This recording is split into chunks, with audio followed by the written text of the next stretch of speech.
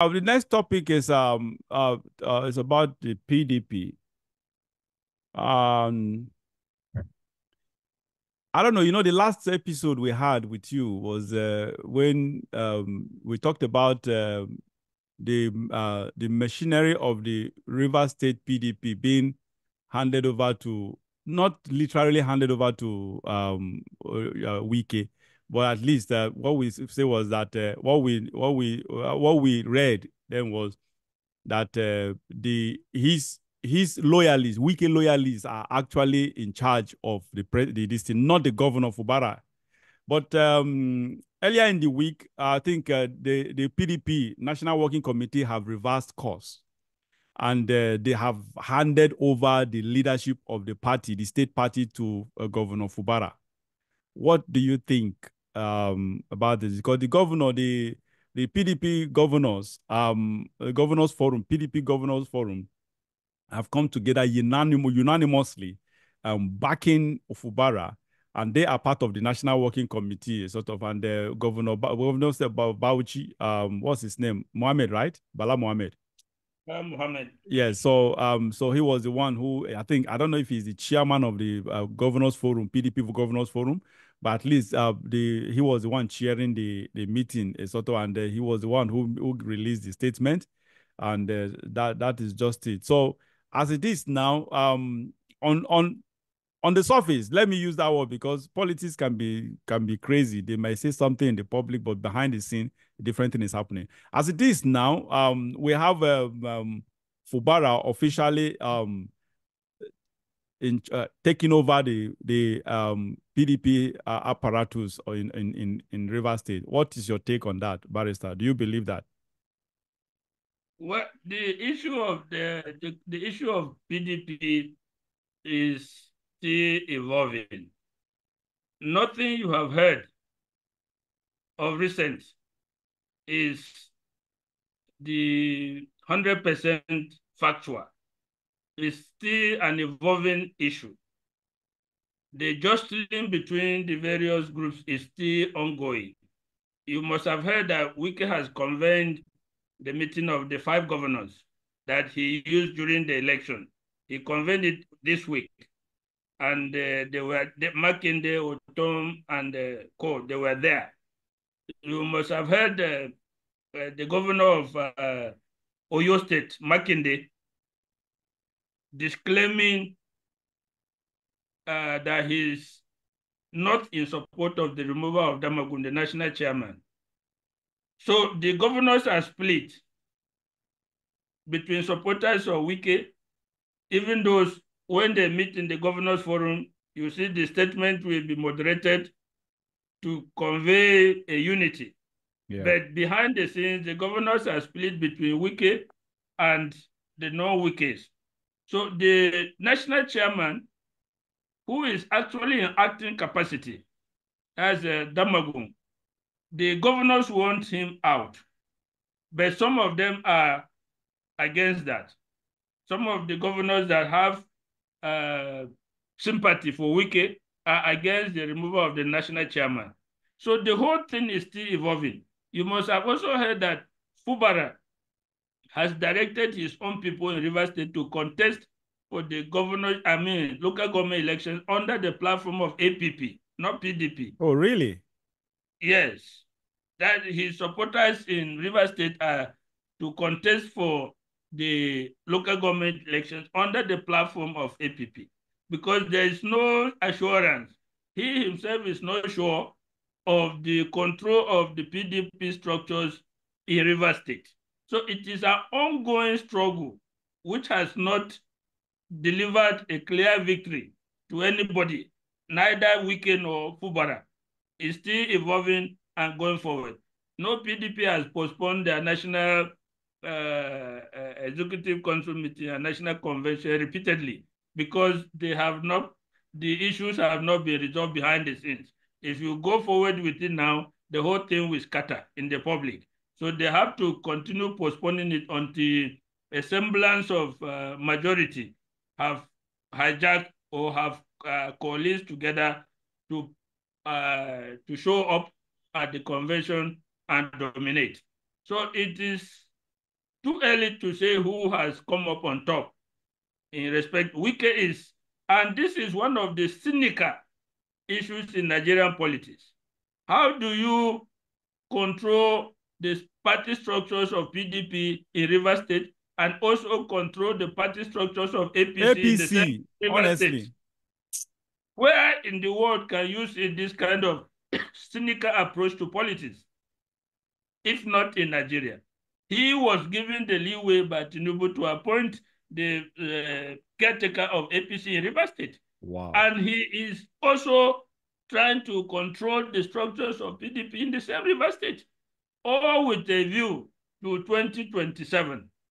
And so you can see that if the party at the national level was united and clear about what they are going to do, they will not allow that situation. This man, his mind is no longer with PDP, but he wants to use it. He wants to remain, control the structures, to use it at his behest when the time comes. Nobody can tell now what will happen then, but he wants to control the whole River State politics, both APC and PDP, so that he will be the kingmaker, or he will decide what will happen in River State come 2027. No party think, what is thought. Do you no think he will succeed? no party what is uh, his name should accept that kind of situation where your one leg is in the party, the other leg is in another party, and you continue going like that. It is the dysfunction of our political system that this kind of thing has continued.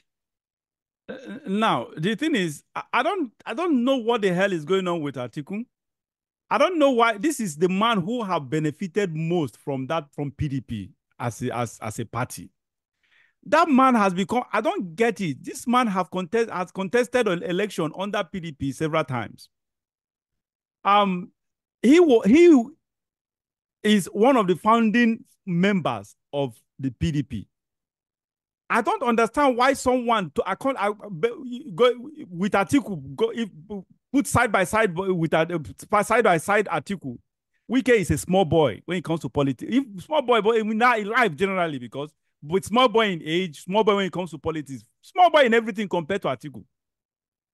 Atiku has been a politician almost all his adult life a sort of so he is the most experienced in that PDP as far as I'm concerned, as the PDP stands today.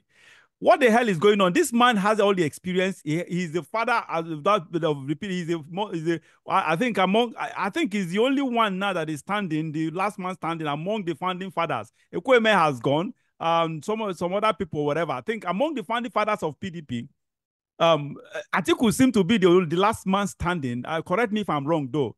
Um, but the thing is that the man has the political will, he has the political muscle, he has the financial muscle.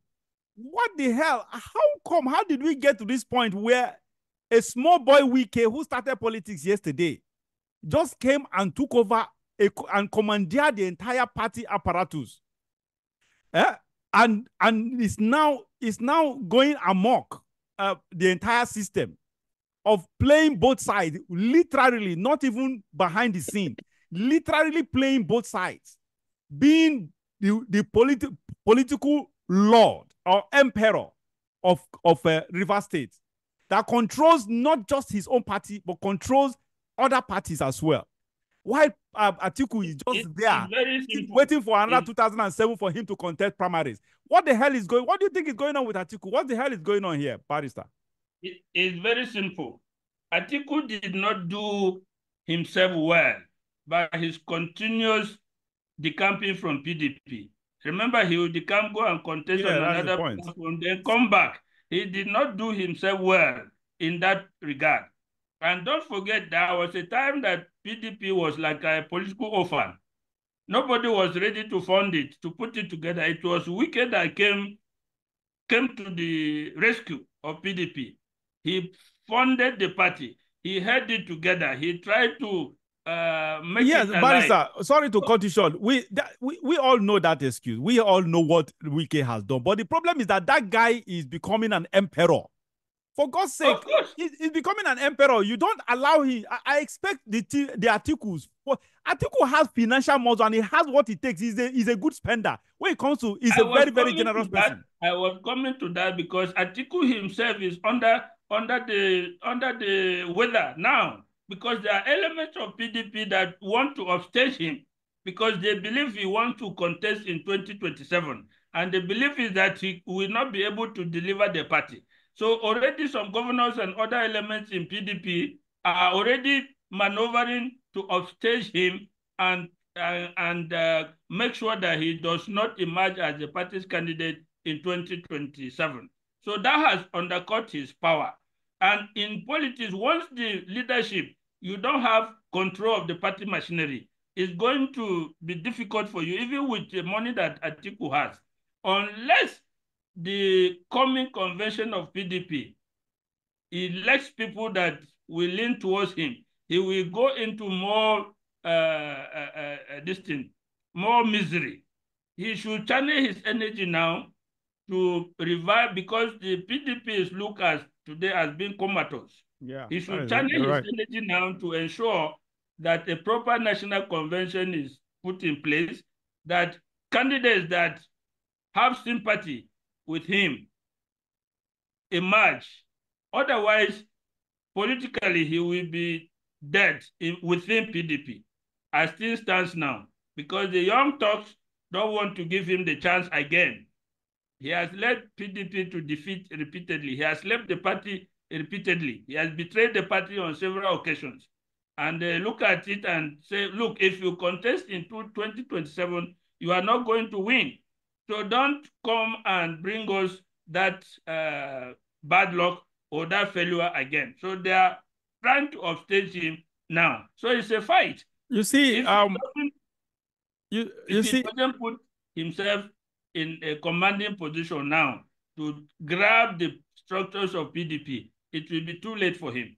He You see, the prob- need another uh, the, the, the, the, the, problem with Atiku, honestly, I've, for so many years uh, he's been contested. I, I've always I predicted that Atiku can never. Anyway, I, my predict some of my predictions never came to pass. I remember predicting that Rufai can never be the governor because of uh, his tendencies or whatever. Unfortunately, he became the governor. So, but I've predicted that I hope this prediction stays this time around because uh, Atiku is one of the menace um, we have in the country. Um, uh, so the truth is, um, uh, what I expect of Atiku, honestly, is to play this uh, elder statesman and play the godfatherism. I don't know why. I, I, look, I don't expect it. He's he's already losing. He, he's losing respect right now. That small boys are just small boys of politics are coming to actually struggle, struggle, fight for power with him. I don't expect at this level in Atiku's age. I expected. I expect him to take charge of the party and be the kingmaker. Eh? Not not to be fighting with with not to be fighting for crumbs right now. As far as I'm concerned, because let I don't know why that man still have his eye on the presidency. Honestly, it's just at this point, he's just being irrational. He's not, he's not telling himself the truth. And the truth is, the, the man has always been desperate. Unfortunately, this desperation has made him to be a hypo, hypocrite, to be a hypocrite. He became desperate right from when he was the vice president of uh, of Obasanjo. That was why the both of Obasanjo saw this desperation in him, and that was why they became they fell apart. They they, they, they fell apart, and uh, and that is that that is just the reality. And unfortunately, at his age, after the after all these long years, this man is still this desperation, this spirit is still hovering around him. I, I don't get it why Atiku honestly what I expect of him at this juncture, especially after losing this election, that the PDP election that he himself cost. Actually, he made he was the the sole cause of that uh, the loss the, that that loss. They have, They by default, he is responsible. He is also among those people who are responsible for this criminal we call uh, we call a president, uh, uh, Bola Tinubu. That is just the truth. You know, you know, you know, two things. When he allowed uh, Ochiayu to be removed as national chairman, because Yes. in the aftermath of the election, I think he did not think he will contest again.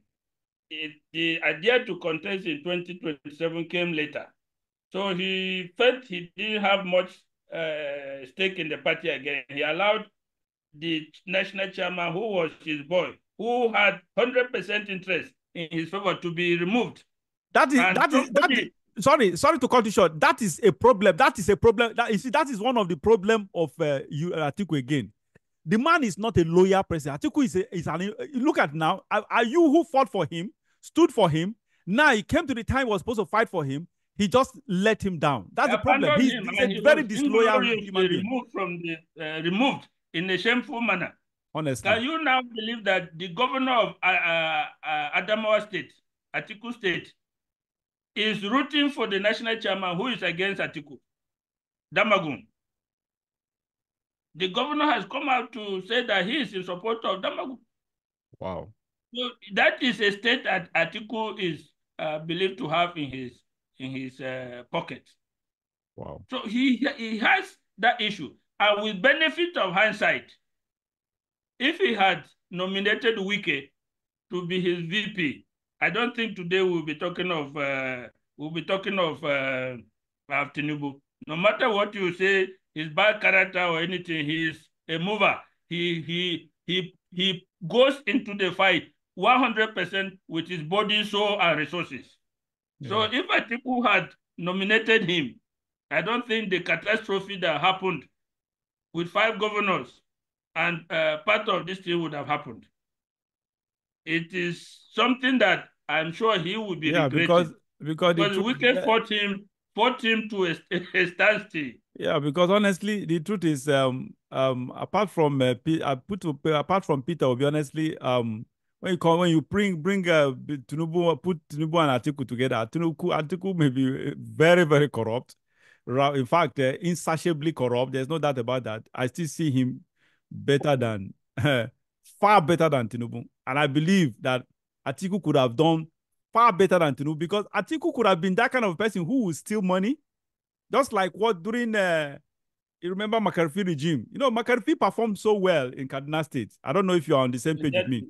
Yeah, yeah but at the same time, he enriched himself. But that that's one of the, the best governors. Governors, yeah. After uh, uh, Umar. Umar, correct. Umar. Yes. After, you, those are the two governors that distinguished themselves yeah, in Kaduna State. State. Yes, correct. You're right. So yeah, uh, you see, uh, but at the same time, you know, Makarfi enriched himself. There's not that, but he he worked. He did. He really did the job. Yeah. So the same thing. I think. I think Atiku is corrupt. There's no doubt about that. But um, he he could have done better, better, far better than Tinubu. Tinubu is just not there's doing anything. No, no He's just question. amassing wealth. He's just amassing no wealth to himself. That, That's the point. Question that Honestly, would have done far better than far Tinubu. better than Tinubu. I am telling you. Tinubu is just amassing wealth. He's not doing anything. Atiku could have amassed wealth. There's no doubt about that. But uh, he would have, he could have worked better than Atiku. Uh, sorry, for than Tinubu. That's that's a sad one. But unfortunately, he he just uh, they, they just they just bungled the whole thing. Uh, they messed up the whole thing. In fact, there are blame is so huge that it is huge enough to go around. We have so many people to blame for this uh, for this menace we call Tinubu. This uh, we go we call a president. That man is a menace. I've become. I don't know if I if is I, I don't I, I won't consider him cancerous right now because if I consider him cancerous, that means there is nothing we can do about it. But it's not a cancer; it's a sickness that we can cure. And the right way to actually cure this sickness is by a revolution. Revolution in one way or the other. Either revolution by the military or the revol revolution by the people. That is the only way because that man is running Nigeria aground. I can't over that I can't over uh, emphasize this reality that we are faced with. So sad. Barrister, let's let's move to the next topic.